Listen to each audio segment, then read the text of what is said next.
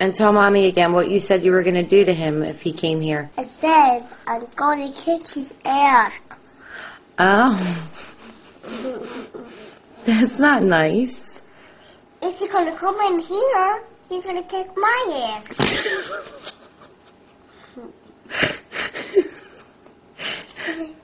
he he will.